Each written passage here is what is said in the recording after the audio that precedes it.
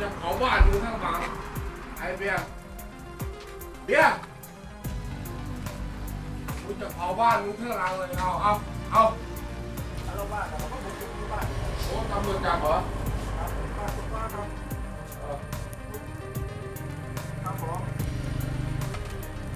รับ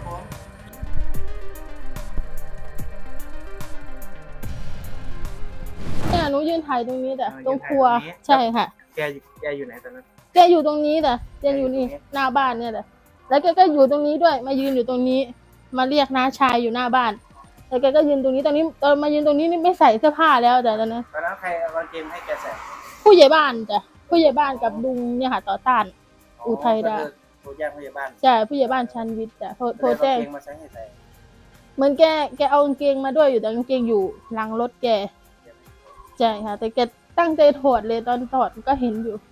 ตอนแรกใส่กางเกงอยู่ แต่ว่าเหมือนไม่ไม่ติดกระดุมค่ะก็เดินไปเดินมา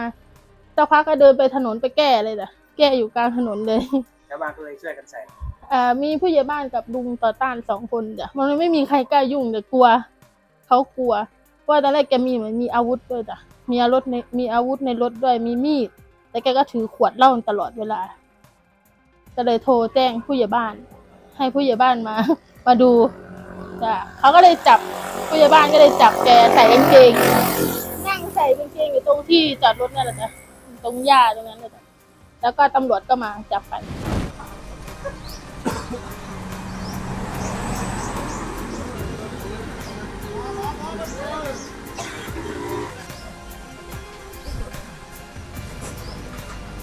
ตำรวจโคตรสาจนมันสิไปก่อน